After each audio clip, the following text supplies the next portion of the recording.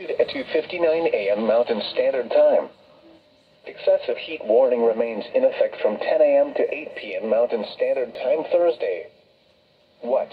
Dangerously hot conditions with a high heat risk and temperatures between 103 to 113 degrees.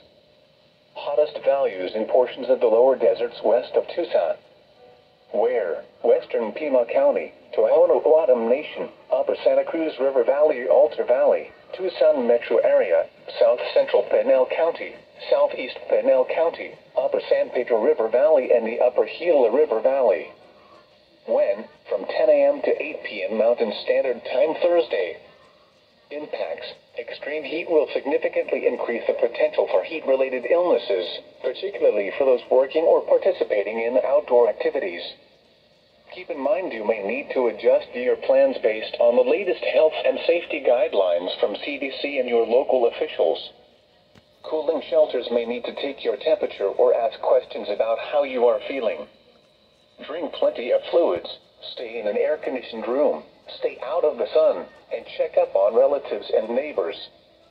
Young children and pets should never be left unattended in vehicles under any circumstances. Take extra precautions if you work or spend time outside. When possible, reschedule strenuous activities to early morning or evening.